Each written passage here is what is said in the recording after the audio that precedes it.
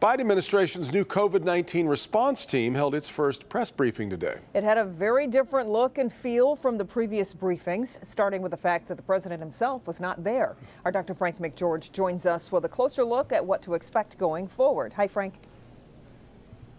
Hey, Kim and Devin. Yeah, the briefing was held virtually. That's a major change from the in-person briefings that were preferred by the Trump administration. And while the CDC has been largely sidelined since last March, the first person to speak at this briefing was the new head of that agency.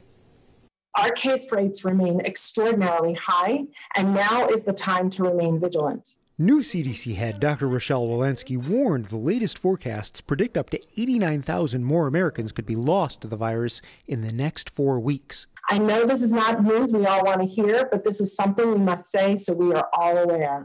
The message repeatedly echoed science will guide their decisions. The White House respects and will follow the science, and the scientists will speak independently, and that our core values of science, public health, and equity are going to drive our actions here at the White House. Getting more vaccines to Americans, the top priority. Much of our work over the next week is going to make sure that we can tighten up the timelines, understand where in the pipeline the vaccine actually is, and when exactly it is administered. You heard from the president this week.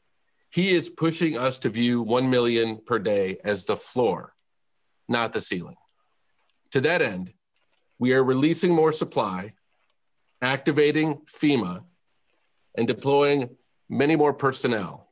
But it will be months before everyone who wants a vaccine can get one.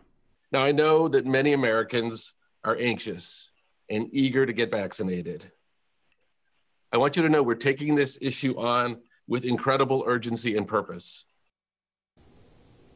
Now, the Biden administration is looking for additional ways to speed up vaccine production.